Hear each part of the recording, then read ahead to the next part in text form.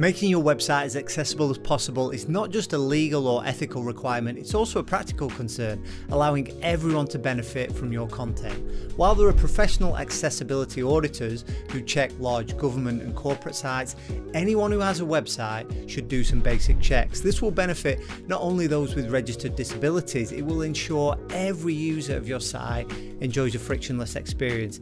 I'm going to take you through four areas you should look at media, text, navigating, and responsiveness, not using this checklist. This is just a prop. Media includes things like images, but what if your user is blind? They're not able to see those images. So we need to use something like alt text, just short for alternative text. And you'll have this little tag within every image. If you're writing out the code, you'll write the ALT equals. But in any sort of modern no code development software like Webflow, there's always a space for that alt text. And you've got to make sure you include that. And it needs to be something descriptive about the image, not just bag. It needs to be, you know, a brown leather handbag with a gold clasp or some sort of detail. The exception to this would be if that image is a link. In that case, we wouldn't want something like a white stroked outline of a simplified dwelling. We would want it to say home. We wouldn't want a white stroked outline of a magnifying glass, we would want it to say search. So just making it clear for people who are using the screen readers.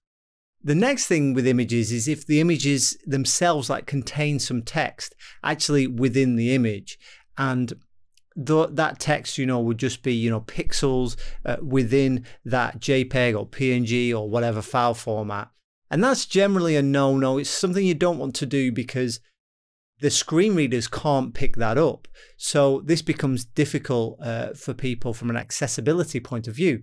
So in that instance, you would want to make sure there's good descriptive text around the image within the context uh, of the image uh, is a better way of doing it rather than including text within the image. Or if you have to do it, include descriptive te text around and repeat it in the alt tags.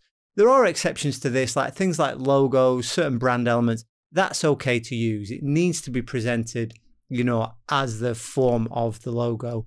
So in those instances, it's okay, but don't put large uh, blocks of text just within an image. Make it plain text within the page. Other forms of media like video and motion, you need to think about maybe introducing a warning if you've got very fast moving, repeated flashing motion. This kind of thing can uh, bring on seizures in some people. So we want to put a warning in place uh, for that kind of thing. And if you are using a video, using captions is best practice. Using things like YouTube and Instagram, you know, different social media or things that are embedded. If you embed something from YouTube on your website, they help you because they often auto generate captions and translations and things like that. If you're doing it yourself, you'll have to put that caption file in there. Similarly with audio, you're going to want to include a transcript so that people who are not able to listen to it are able to read it. Next, we've got text. Now with text, there's many things that we want to think about to make it accessible as possible. Firstly, our font choices. We want to choose a font that is legible, easy to read for our body copy. For our headings, we might bring in a little bit more flair, a little bit more style and variety to bring some personality to the design. But for body copy, we always prioritize legibility. Is this font easy to read? That also leans into things like the font size.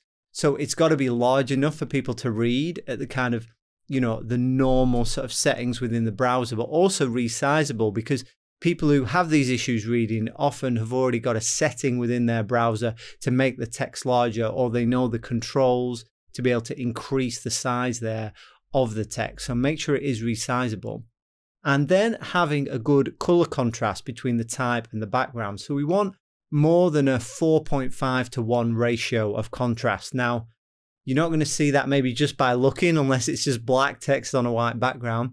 But there are loads of great online tools, and we'll link some of them that are just color contrast checkers. So you can just pop those in. And this is even good for elements like buttons standing out from the background, but especially with text we want a really good contrast between the color of the type and the color of the background below it.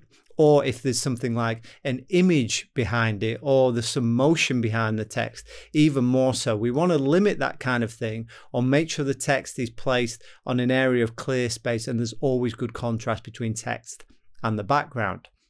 Typesetting is a whole bigger subject, but how we set our type really affects its legibility. And if you want to get into some of more of the detail of that, I made a video called How to Ruin a Good Font.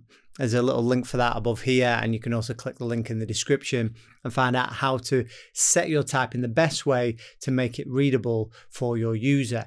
And in general, with our text, we want to use plain and inclusive language. We want to be straightforward easy to understand, concise. And so doing some proofreading, making sure everything is spelled correctly, grammatically correct, that will uh, really help the user. And also, if anything is then auto translated or anything like that, it's a lot easier to do when you've already got it very solid in its native language.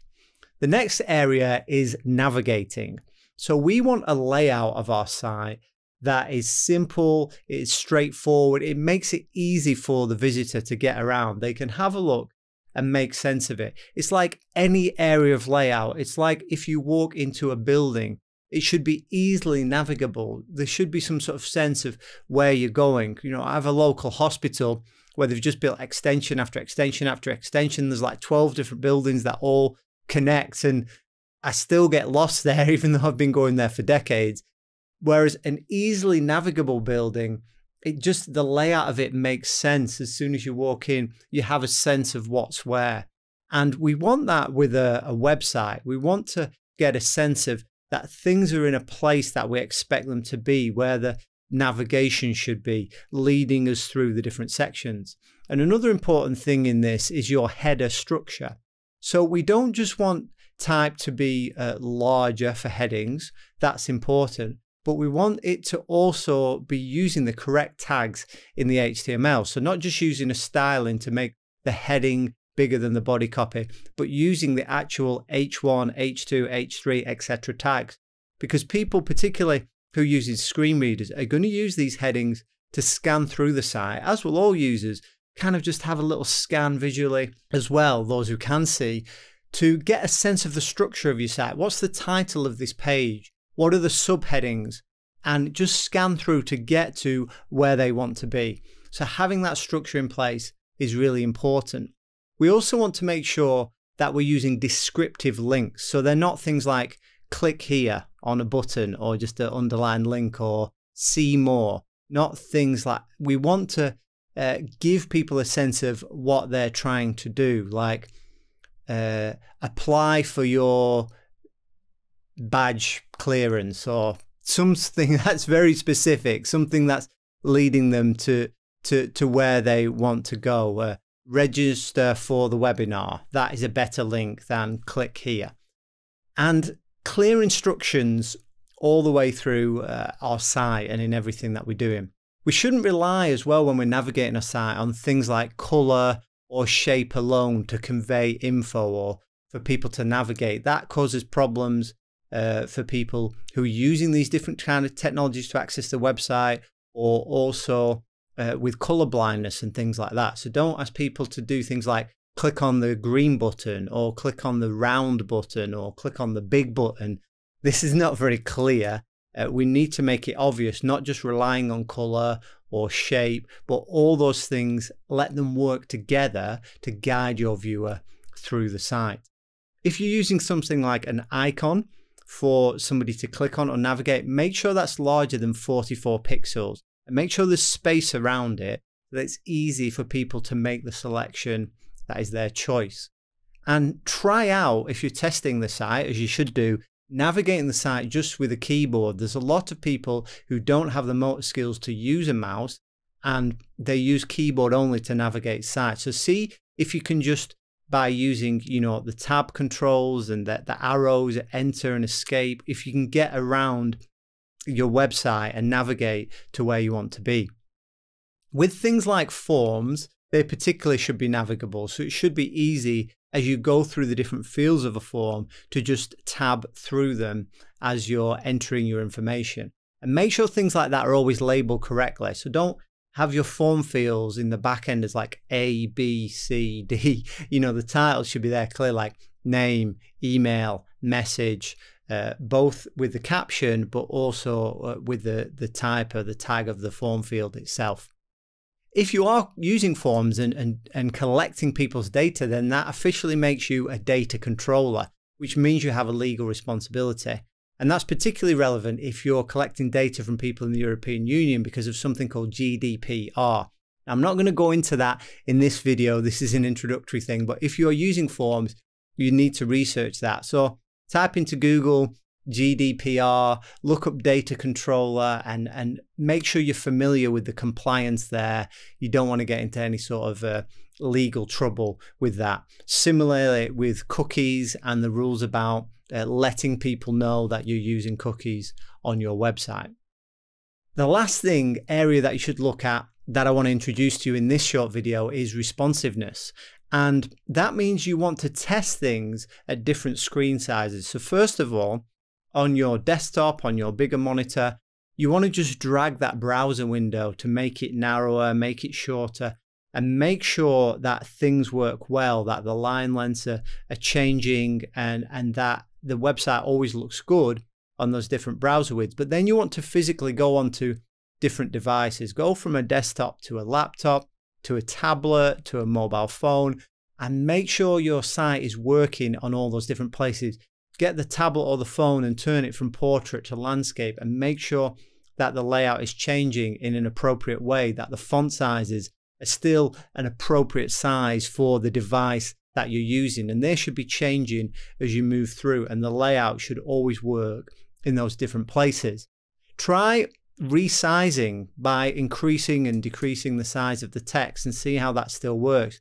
Try using the zoom in controls and see if you're still able to get around and how your website behaves in that way. And the best way to test is to have multiple different people test your website. You kind of know what you're looking for and getting around, but ask some different people, whomever you have available. But ideally, and if you want to be more rigorous and you've got a little bit more budget or you know something within a professional company, you want to make sure you have people with different disabilities test the website as well and make sure all um, different kinds of people can get around the website.